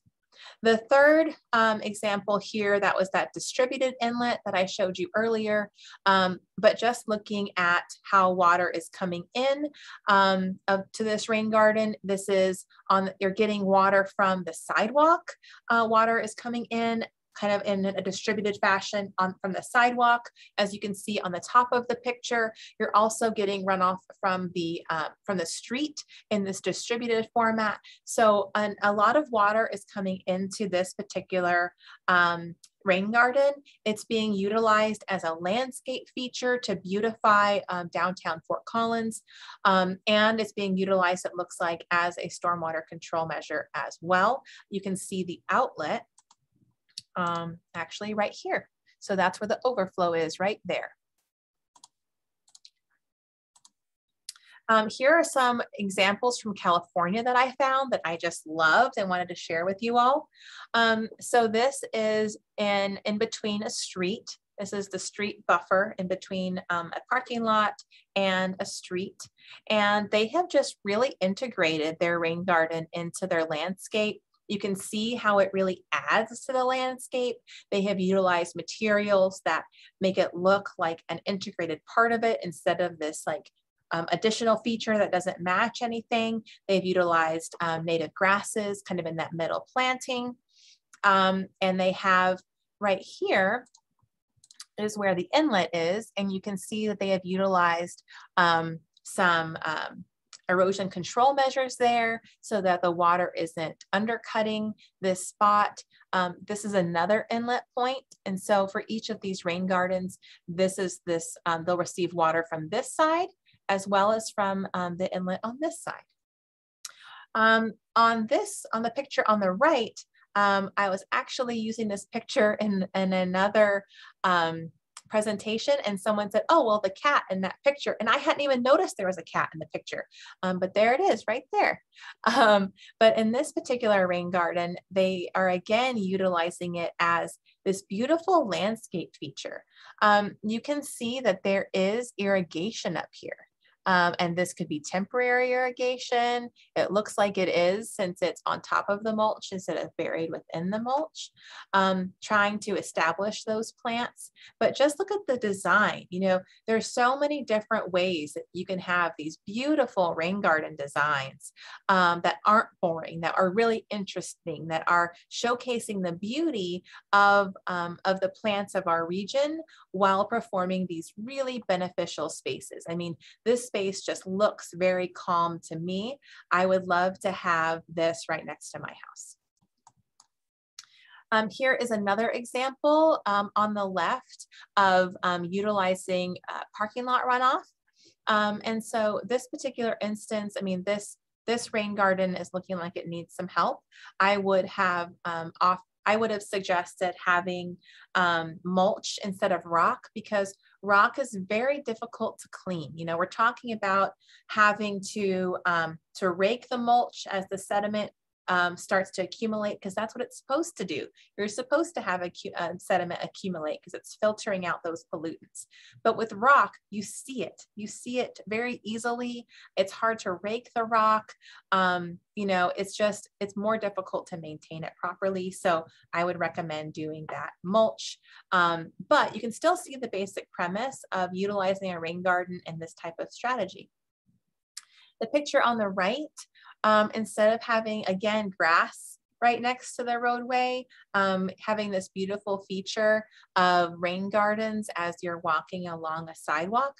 In Arizona, they have utilized the strategy of these um, basins that fill up from or rain gardens that fill up with the runoff from the road and then also from the sidewalk, um, different inlets from the different buildings. But then as you can see, there's parking right next to it. And so one of the issues they were encountering is that people didn't want to fall into the basin. You know, if you step out of your car and then falling, you know, into like a sloped side. So what they started doing was creating these little um, stepping pads, you know, stepping um, areas after you get out of your car to not fall into the basin. And so um, really still thinking of solutions to problems rather than saying, okay, well, we can't install a rain garden there because it might be problematic for parking and thinking of these alternate solutions to make them work instead. Um, here is this example again. I just really, really liked this picture on the left. Um, you know, in this very urban space, integrating more um, more green area, having these plantings. Um, people are able to walk out, you know, on their lunch break and have um, this beautiful native space to um, to really feel that that peace and that connection to nature. Um, but this is a fairly like, relatively small rain garden. Um, and rain gardens do work really well in these smallish settings. Um, but once again, you can really scale them up. So the picture on the right is a very large uh, roundabout rain garden. Um, and it is receiving quite a bit of water from the surrounding impervious area. Um, right here in the, let me get my pointer once again. Right here, you can see this is the overflow. And that is where um, the water will go if it fills up completely. And this is where the water is coming in. It looks to be a concentrated inlet taking water from, um, from this area above.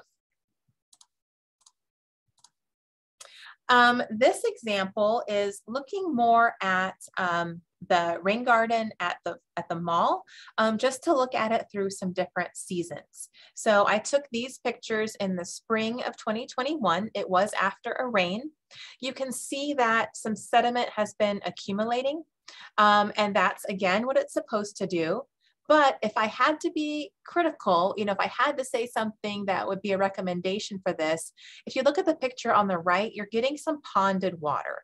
Um, and so the sediment needs to be removed from um, up in this area right here so that water can just flow freely into the rain garden. What you're getting here is a mosquito breeding area.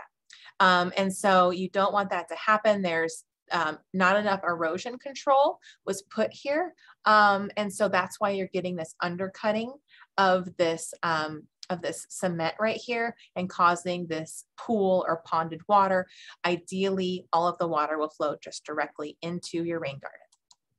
So that would be my suggestion um, for them at that particular point. So next, this is summer uh, that same spot, summer of 2021, look how beautiful that vegetation is. This was also after a rain event, and so that's why you can see the water here. Um, but it was working very well. You have the multiple inlet points, and so the water is able to distribute through this area. If you didn't know it was a rain garden, nobody would probably would think that it was. They would probably just think that it was a normal landscape feature. Um, here is other views of what that um, that vegetation looks like. It's very healthy vegetation.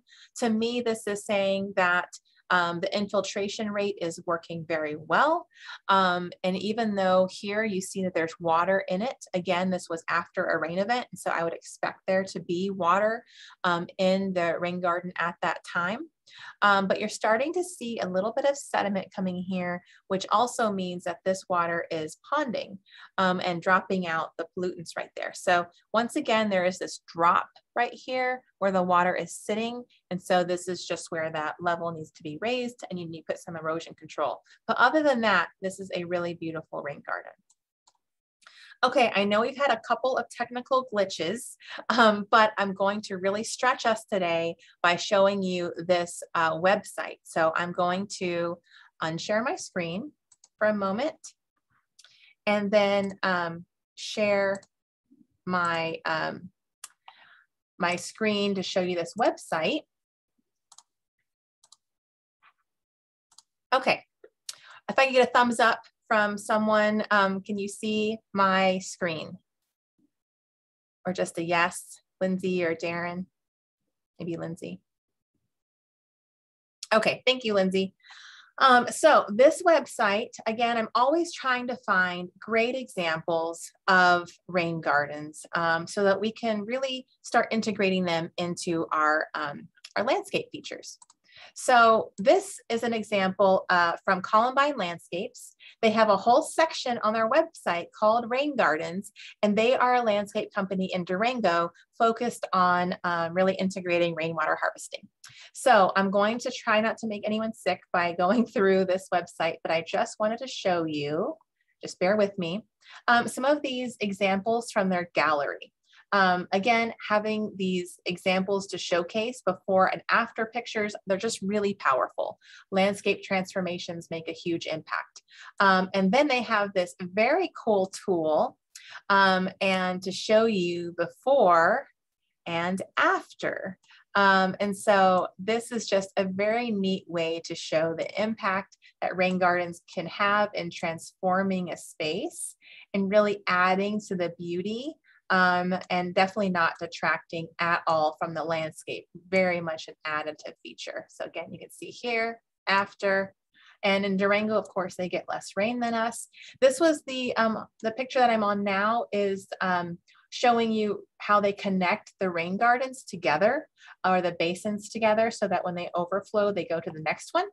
And so you might be thinking, well, that looks really like two holes in the ground. You know, what does that look like afterwards? So this is what it looks like afterwards. You can't even tell they're there.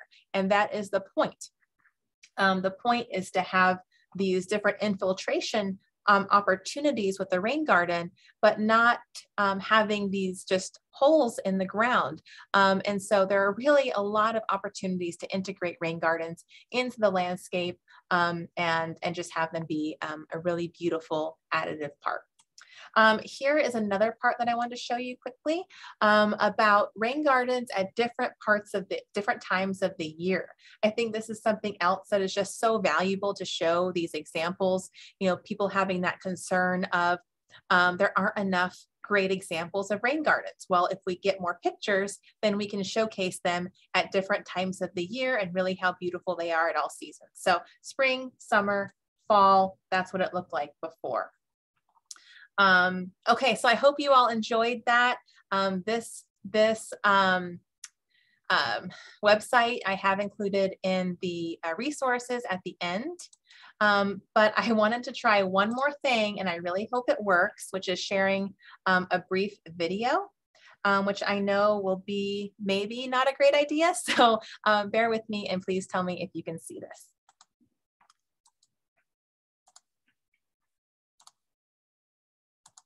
Elk Grove is a community located just south of Sacramento, California. They've created a rain garden benefiting the community, wildlife, the environment, and Oh, I do just want to say that this is a very quick four minute video. Um, and I just wanted to showcase how this was, um, this Rain Garden Plaza was really instituted as this community feature. Um, and so I just wanted to show how a community uh, really embraced the idea of a rain garden. So now I'll show you the video and believe it or not, the ocean, which we'll discuss on this edition of the Thank You Ocean Report. It's a one acre site. In the center is a large plaza. And to one side of the plaza is what looks to be sort of like a wetland with a bridge that meanders across that wetland. And that wetland essentially is the rain garden. The plaza is surrounded by lots of mounds and swales and huge variety of native plants and trees. Paul Newton is Chief of Planning, Design, and Construction for the Cosumnes Community Services District, where the rain garden was developed. He says a rain garden is sort of like creating a mini watershed or wetland habitat. And he says there are many benefits to this approach. One of the major benefits would be prevention of stormwater pollution. You basically are keeping the water on the site. So no water is going into the drain system that leads to the creeks and rivers that flow into the ocean. So you're eliminating a lot of stormwater pollution. You're conserving water because you're also reusing some of that water to uh, help plants to grow. The idea of sourcing plant material locally, so there's less energy used in transporting plants. And the plants are carefully selected They're native plants, but chosen to work best within the various microclimates in the rain garden. The plants provide habitat for insects and birds, and the plants act as a way to filter pollutants. I asked Paul if the rain garden is having a wider impact in his community. Oh, yes, most definitely.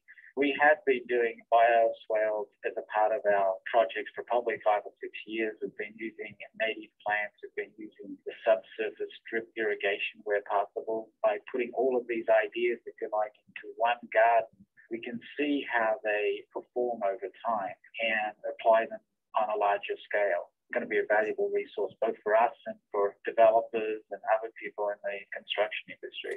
The Elk Grove Rain Garden is really a vision for an approach to landscaping, which has evolved in the last half century or so.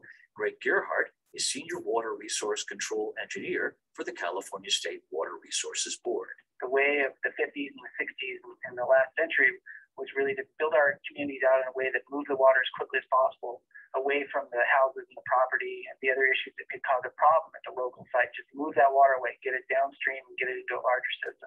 But Greg says this fast moving water also carries pollution into the waterways all the way into the ocean. There there is a truly dramatic shift going on in the way that planners, engineers, landscape architects, everyone's together on this, trying to rethink how we build our urban watersheds so that we mimic natural patterns.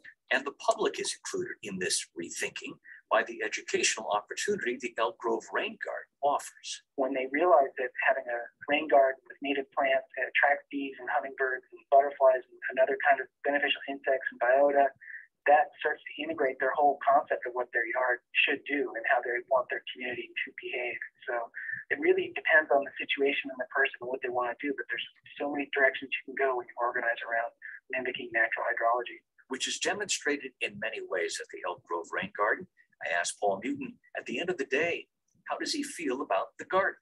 Oh, I feel wonderful about it. It was one of the best projects I think I can remember working on here as a landscape architect. You get to try these things out, they're working. You see people come, it's sort of art, it's technology, it's education, and then it's fun for the kids all at one time. Both Greg and Paul underscored there are many things we can all do to integrate these low impact ideas into our cities and gardens. We can use native or drought tolerant plants, reduce or eliminate the use of pesticides, and install efficient irrigation, such as drip irrigation systems. By the way, the city of Elk Grove's Rain Garden Plaza is the most comprehensive rain garden in the Sacramento region and definitely worth a visit. My thanks to Paul Muten and Greg Gearheart. If you'd like to learn more about this beautiful well, thank you all. I hope you enjoyed um, that video. Um, and I hope that it worked out and you're able to all hear it. But I thought that was such a great example of, um, of, of showcasing the abilities, um, sorry, I gotta unshare that again, of showcasing what that can look like as a part of a community feature and a large scale project. Okay, um, I want to get to tools and resources um, before we end today. Just bring my everything back up after moving everything around. Okay. So um, here are some resources if you're really excited now to install uh, rain gardens and get started, which I hope you all are. Um, and so one of the things that you can do, CLASIC is a tool um, from the One Water Solutions Institute where the Stormwater Center, uh, the Colorado Stormwater Center is a part of. And this tool really enables you to utilize different scenarios. It's a GIS tool. Um, and to really evaluate what is the best type of stormwater control feature for your space taking into account the life cycle costs um, and water quality as well. And so um, this tool you can find um, through our website. If you're looking for ways to figure out, okay, how much will it cost for me to do rain gardens in my area? Um, here are a couple of different tools, the green value calculator, if you're looking for a general area um, or a general um, concept. It gives you some different options to choose from. If you select um, this tool at the bottom, the launch tool button, um, then it takes you, I believe, to here where you can then um, make some of your own inputs. And then the Mile High Flood District has this really neat tool. If you navigate to this website and then select BMP sizing at the bottom of the page, um, then it takes you to, um, it downloads a PDF as well as a um, Excel spreadsheet where you can actually put in um, and it will give you costs, uh, Colorado focus costs. So it helps you to really get a better idea um, with what those costs might look like. The uh, Tap into Resilience Toolkit has a lot of different ways that um, and worksheets that you can work from on why should you integrate um, resilience or why you should integrate green infrastructure into your um, strategic planning.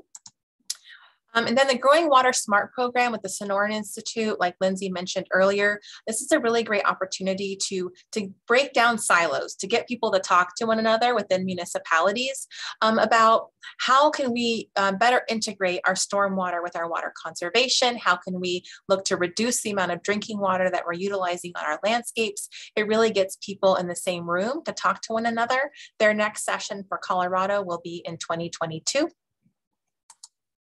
Um, once again, the Urban Storm Drainage Criteria Manual has um, some really great recommendations. And then their chapter four, I think is just going to be fantastic. Um, and so I highly encourage you to look for that. Everybody wants to know about funding resources, of course. Um, the uh, Northern Water has their grant opportunities, um, but in addition to that, there's a couple with City of Fort Collins. I know that you're not all with City of Fort Collins, but just wanted to give you some different um, examples of ways that you could do some of this funding.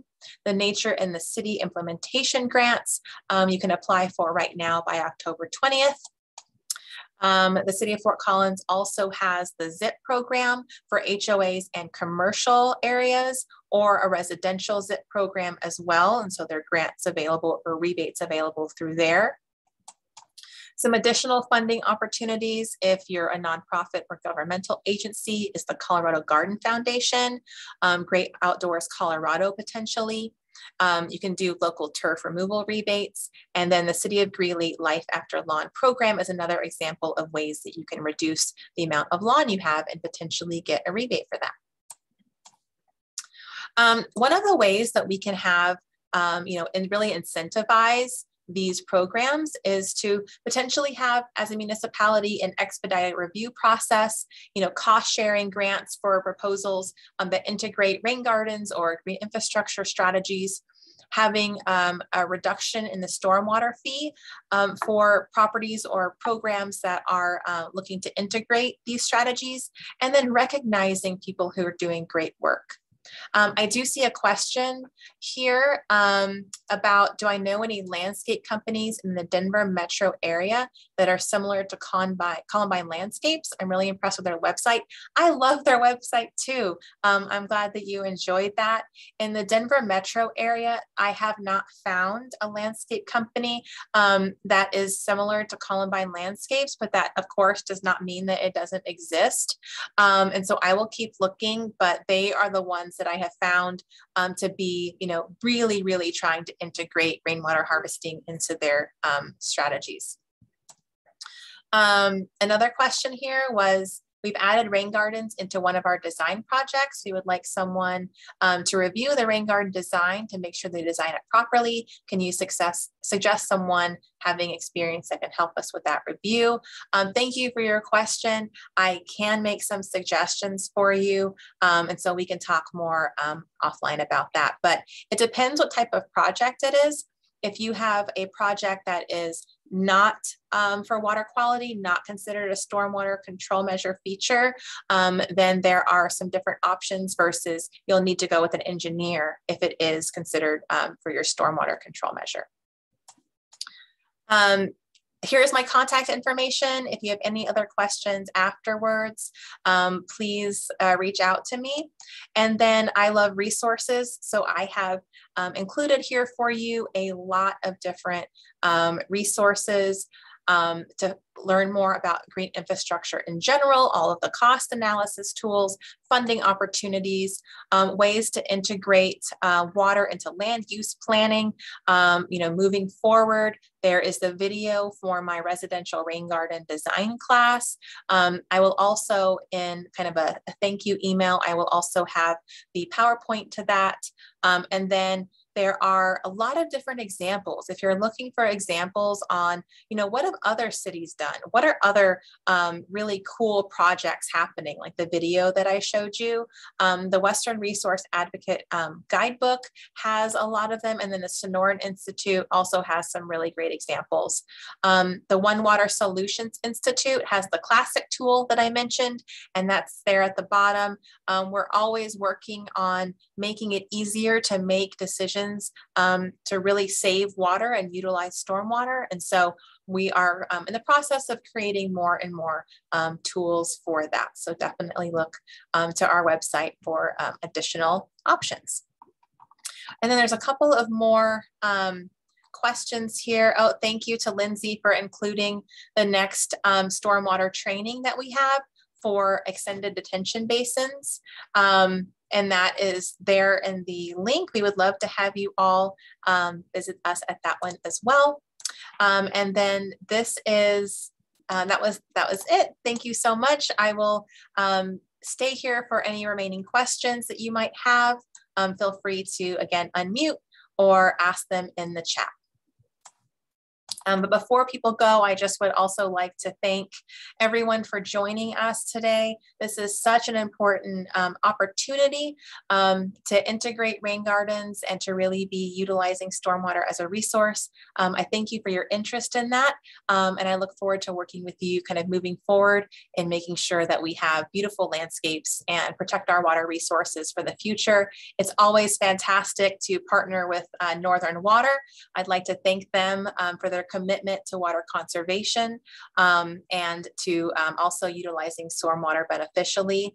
Um, I would like to open it back up to Northern Water if they would like to make any closing remarks as we're waiting for questions. Um, thank you so much, Linda, for your comment. Frank or Lindsay, would you like to make any final comments for the day? Hi, this is Frank. I'll just say for attending, everyone, and thank you, uh, Jessica, for an excellent presentation today. We look forward to the next one, and we encourage all of you to take these on and give us a shout and let us know how they work for you if you have a nice project to uh, implement. That's all I've got. Thank you, Frank.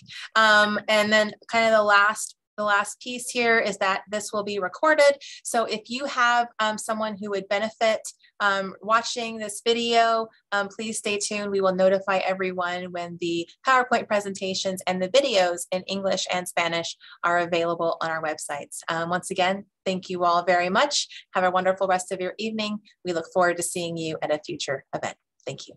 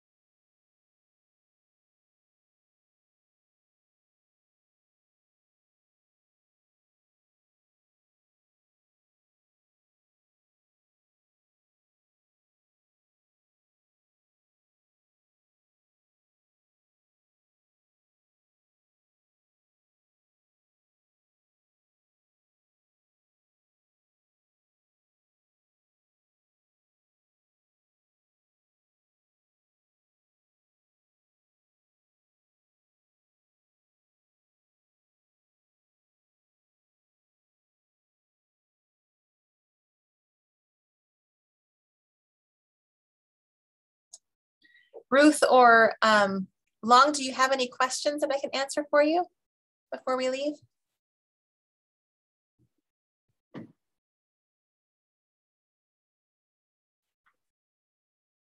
Well, thank you once again for attending.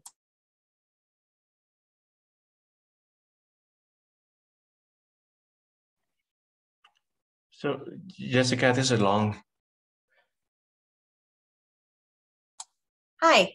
Hi. So um, yes, so I mentioned that we have a uh, reconstruction project that we widening out a roadway from two lanes to uh, four lanes plus the decel lanes. So uh, our uh, environmental person, they she would like to add in uh, a feature like rain garden into the project. Um, part of it, it is to address the the uh, the storm water on our project and, and then and then this is basically it's a new um, implementation to the county. Mm-hmm. So we want to put in, but we have the consultant designing it. But I'm a project manager, and I look at it and say, okay, there's some plants and there's some pipe and there's some gravel. That's look that yeah. looks okay, but I, I don't have the experience to to say yes or no or no. That that that one few things that you mentioned to me that that that caught my attention that snow plow uh, snow storage. It those these rain gardens right next to the curb. And i'm i need to go back and take a look at it. If if our maintenance um force if they plow the snow will that potential push the snow over the curb and then land it into this um you know rain garden? So i don't know if it's effective um, to put it that close to the curb. So that's something I need to uh, look into. Um, but like I said, the, the, design of the rain garden, I have no clue. I mean, the consultant submitted to me. Um, I just look at it and say, okay, well, that's look good. Maybe I need to circle back to them and say, well, who did you have somebody that have experience to design this, Mhm. or a typical engineer just came up with some landscaping plans and then uh, um, and then overflow or, or, or what? I, I guess maybe that's the question I need to ask them.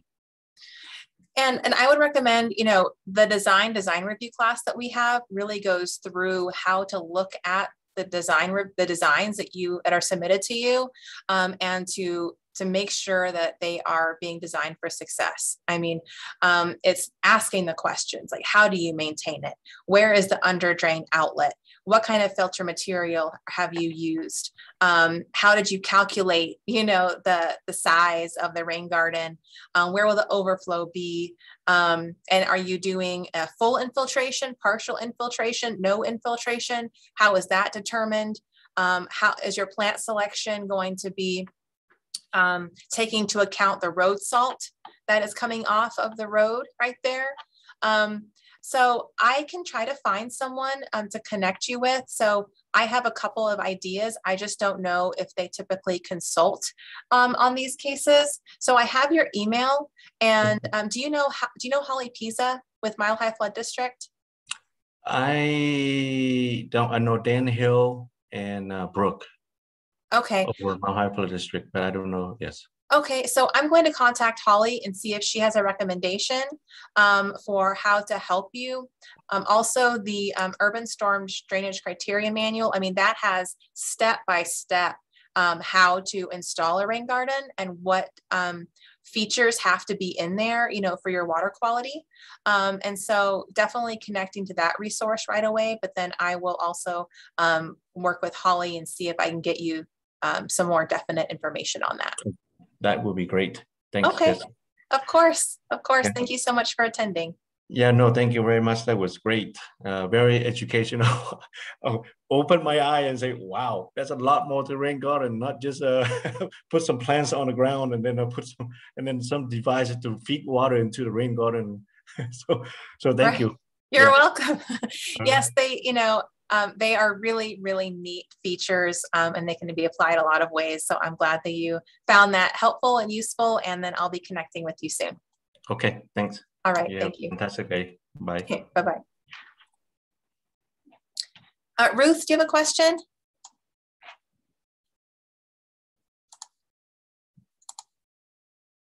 Okay. Um, well, I know I know Ruth, um, and so it's okay if she hears the rest of this. Um, and so I just wanted to check in with everyone. I'm going to um, stop recording. I think that all the recordings went well. Um, hopefully, me see here.